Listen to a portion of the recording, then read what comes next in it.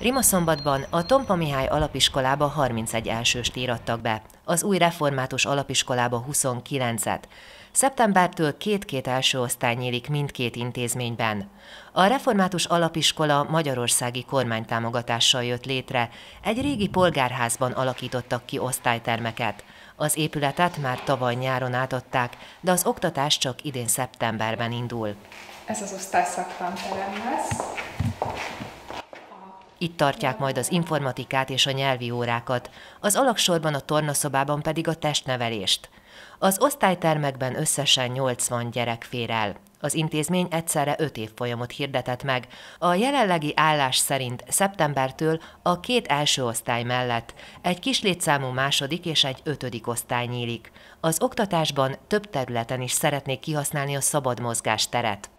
Az egyik része az a, a gyerekeknek a hitbeli nevelése, és a másik fontos rész mi nálunk is ugyanúgy, mint a magyar iskolák nagyobb részénél, hogy hangsúlyt fektetünk arra, hogy a ö, múltunkat, a értékeinket, kincseinket, akár a regionális értékeinket, kincseinket, akár ö, nemzeti értékeinket ö, megismertessük a gyerekekkel.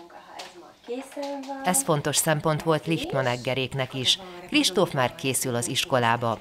A járvány idején bőven van ideje a gyakorlásra, imádja a játékos feladatlapokat. És itt már megcsináltuk ezt a pávakni. Pávaszemek vagy valami. És nézd csak, hogy milyen sok feladat volt itt. Ezt is megcsináltuk. Kristóf anyukája azt mondja, hogy a református iskolanyitás nekik nagy öröm.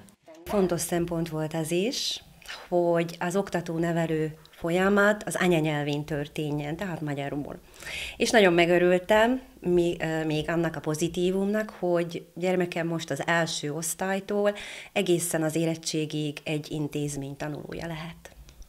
Mert hogy a városban már működik a református gimnázium. Tavaly megnyílt a református óvoda, most pedig a református alapiskola, és a három intézményt szeretnék összevonni. Ezt azonban nem mindenki támogatja.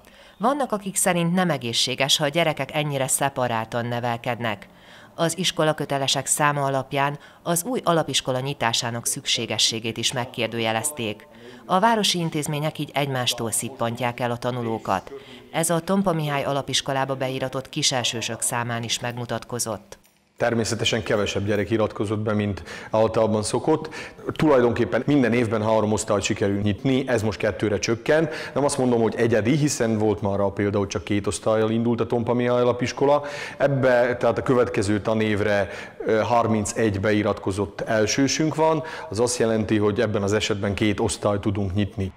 Fodori kisfia Olivér egyike a Tompa Mihály alapiskola jövendőbeli elsőseinek.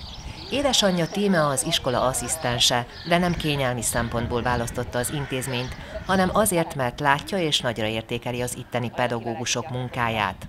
Látom belülről is az iskolának a mindennapi dolgait, hogy mennek a dolgok, hogy viselkednek a gyerekekkel, úgyhogy így belsősként is azt tudom mondani, hogy egyértelmű volt számomra a döntés, hogy ezt az iskolát választom a gyerekem számára. Olivér már alig várja az iskolát. A számolásban némi előnyt is szerzett. 2, 3, 4, 5, 6, 7, 8, 9, 10. Azt, hogy ki lesz az osztályfőnöke, még nem tudja. A Tompa alapiskolában az új iskolanyitás miatt a személyi állomány egyelőre csak minimálisan változik.